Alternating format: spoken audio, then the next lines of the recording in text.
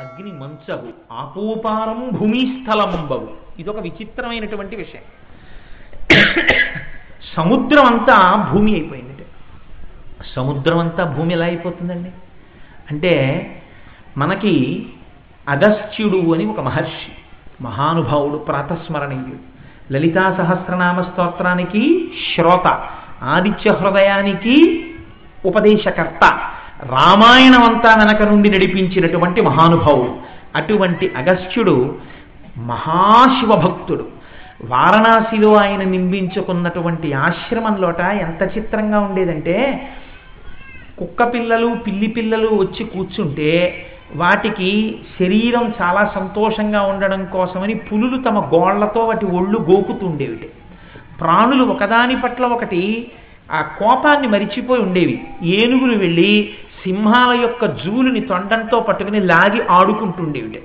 సింహాలు ఏనుగుల్ని నాకుతుండేవిటే. అంటే అగస్త్య మహర్షి యొక్క పంచాక్షరి ఉపాసనా శక్తి చేత ప్రాణులు తమ మధ్య ఉన్నటువంటి వైరాన్ని మర్చిపోయాయి బ్రాహ్మీ శక్తి అలా వ్యాపించింది.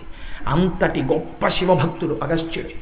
అటువంటి అగస్త్యుడు ఒకనొక సమయంలో సముద్ర జలాల్ని తాగవలసి వచ్చింది. ఎందుకు తాగవలసి వచ్చింది అంటే కాలకేయాదులు అని రాక్షసులు ఉండేవారు. వాళ్ళు పగటిపూట సముద్రంలో సముద్రంలో ఉన్నటువంటి ద్వారంలోంచి పాతాళలోకానికి వెళ్ళిపోయేవారు. రాత్రిపూట బయటికి వచ్చి ఋషుల ఆశ్రమాల్లో ఉండేటటువంటి వేదవేత్తల్ని చంపేస్తుండేవారు. ఇంద్రుడు అగ్నిహోత్రుణ్ణి మొదలైన వాళ్ళని పిలిచి మీరు ఎలా అయినా సరే సముద్ర జలాల్ని ఇంకింప చెయ్యండి అన్నాడు. అంటే అగ్నిహోత్రుడు అన్నాడు నేను ఇంకింప చేయగలను. కానీ నేను ఇంకింప చేసినప్పుడు దానిలో ఉన్న సమస్త భూతకోటి మరణిస్తుంది. దాని వలన నాకు పాపం. నేను చేయనన్నాడు. నువ్వు అలా అన్నావు కాబట్టి సర్వభక్షకుడవు కొమ్మని చెప్పించాడు సరే ఆ తర్వాత ఆయన సర్వభక్షకుడైనా సరే మహానుభావుడే ఆయన దీప్తి చేత కాంతి చేత ఆయన యొక్క ప్రకాశము చేత ఆయన పవిత్రత తగ్గకుండా వరాన్ని పొందాడు. సర్వకాలముల ఎందు అందరి చేత నమస్కరింపబడేవాడయ్యాడు అగ్నిహోత్రుడు. అప్పుడు దేవేంద్రుడు అన్నాడు ఈ సముద్ర జలాలన్నింటినీ తాగేస్తే తప్ప ఎవరో ఒకళ్ళు భూమి కనపడదు సముద్రపు యొక్క అడుగు భాగం. కనబడితే తప్ప ద్వారం దొరకదు. ద్వారం దొరికితే తప్ప పాతాళలోకానికి వెళ్ళి వాళ్ళు దాక్కున్న చోట కాలకేయాదుల్ని చంపలేరు. సముద్ర జలాలన్నింటినీ తాగగలిగిన వాడు ఎవరని అడిగాడు. అడిగితే అది ఎలా తాగాలి? ఏదో పంపులు పెట్టి మోటార్లు పెట్టి ఎప్పుడో తోడుతామండి పది ఏళ్ళ తర్వాత అంటే ఈలోగా వాళ్ళకి తెలిసిపోతుంది వాళ్ళు స్థావరం మార్చేస్తారు. హఠాత్తుగా తాగేయాలి. ఎవరు తాగుతారన్నారు పరమశివ భక్తుడై నిరంతర శివనామస్మరణ చేసేటటువంటి అగస్త్యుడు చేయలేని పని లేదు కాబట్టి ఆయన కాళ్ళు పట్టుకోండి అన్నారు ఆయన దగ్గరికి వెళ్ళి అయ్యా ఈ సముద్ర జలాలన్నింటినీ మీరు అవపోసన పట్టేయండి అన్నారు. దేనికి రాన ఆయన అడిగారు. కాలకేయాది రాక్షసుల్ని చంపాలండి బిలం కనపడాలి అన్నారు. అదెంత పనిరా? అలాగే తాగేస్తానని ఆయన ఔపోసన పట్టేశాడు. నర్మదా నదీ జలాల యొక్క వరద జలాల్ని శంకరాచార్యుల వారు కమండలంలో పట్టేసినట్టు. ఇలా పట్టి ఔపోసన పట్టేశాడు అంతే.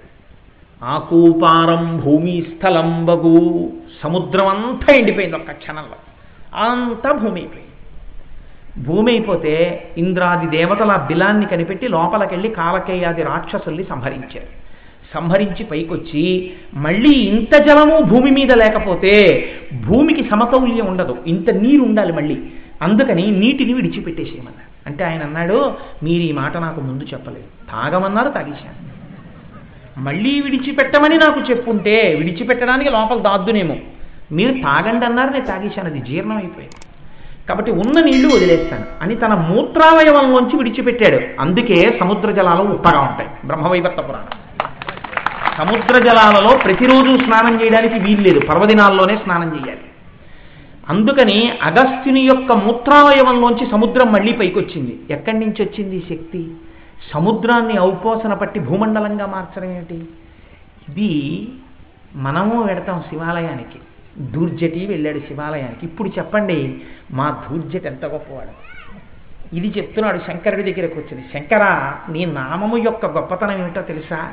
ఇదయా దాని గొప్ప. పవి పుష్పంబగు అగ్ని మంచగు నాకూపారం భూమి స్థలంబగు అక్కడతో విడిచిపెట్టాడా? అగస్త్యుడంటే ఎటువంటి వాడో తెలుసా అండి? మేరు పర్వతం మీద వింధ్య పర్వతానికి కోపం వచ్చింది ఒకసారి. సూర్యుడు ఎప్పుడు మేరువుకు ప్రదక్షిణం చేస్తాడని. మేరుతో సమానంగా పెరిగిపోతానని పెరిగిపోయింది. సూర్యచంద్రుల యొక్క గమనానికి అడ్డొచ్చేసింది. దేవతలు ఏం చెయ్యాలో అర్థం కాక ఇప్పుడు ఈ వింధ్య పర్వతంతో తగువు పెట్టుకోవడం అంటే చాలా కష్టం. కనుక మనం ఒక పని చేద్దాం. అగస్త్య మహర్షిని పంపిద్దామని ఆయన్ని ప్రార్థన చేసి ఆయన్ని పంపారు.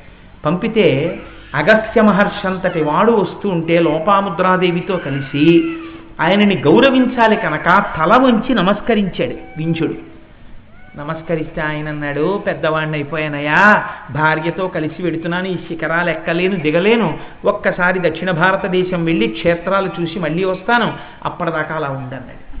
అప్పటిదాకా అలా ఉండనావా అండి అని అడగడమే అగస్త్యుణ్ణి అలాగే మహాప్రభోని నేలతో సమతలంగా పడన్నాడు. అలా పడి ఉండిపోయాడు ప్రణిపాతం చేసి. అందువల్ల మీరు నేను ఈ లోకాలు ఉన్నాం అగస్త్యుడి యొక్క శక్తి చేత. ప్రాతస్మరణీయుడు అగస్త్య మహర్షి అంటే. అగస్త్య మహర్షికి ఇంత శక్తి ఎక్కడిది? శివనామోచ్చారణం వల్ల కలిగినటువంటి శక్తి శివభక్తి చేత కలిగినటువంటి శక్తి. కాబట్టి పవి పుష్పంబగు అగ్నిమంచగు ఆకోపారం భూమి స్థలంబగు శత్రుండతిమిత్రుడవు శత్రుడి